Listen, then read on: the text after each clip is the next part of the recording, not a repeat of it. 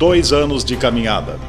Defender os interesses dos associados todos os dias da semana, todos os meses do ano. Este é um dos objetivos da Câmara de Dirigentes Logistas de Santa Maria, que tem uma caminhada de mais de meio século de atuação. Fazer parte de uma história de 50 anos é um orgulho. Nos últimos dois anos, quem esteve à frente da entidade foi uma diretoria comprometida com a continuidade e crescimento de todos, que teve à frente muito mais do que um presidente, Jacques Esquinazzi Neto. Ao longo de dois anos, foram muitas lutas, muitas conquistas. Claro que nada veio pela luta de um ou de outro, mas de todos.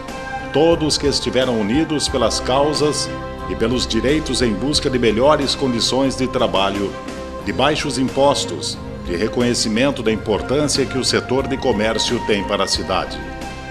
Dentre as principais realizações desse período estão Palestra Show Maior Vendedor do Mundo com Fábio Brocker.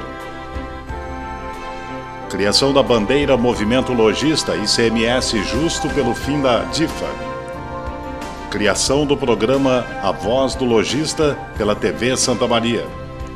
Realização das campanhas do Natal do Coração e Liquida Santa Maria reativação do convênio Unimed, abertura de novos convênios como ticket e telefones celulares vivo e convênio com a Prefeitura para notificação e registro do SCPC. Assinatura do Convention Bureau. Instalação do correspondente Caixa Aqui. Assinatura do termo de compromisso da Faculdade do Varejo em parceria com a FISMA. E por fim, um dos grandes desafios nesse meio tempo, que foi a atividade de comemoração do aniversário de 50 anos da CDL em 2014. A campanha 50 anos, 50 prêmios, que sorteou 5 carros e 5 motos 0 km, além de tablets, televisores e smartphones. O jantar dos 50 anos, que foi uma brilhante festa realizada no Avenida Tênis Clube, Ex-presidentes da entidade e as empresas associadas com mais de 50 anos de atuação foram homenageados. E a edição especial da revista CDL News, alusiva aos 50 anos da entidade.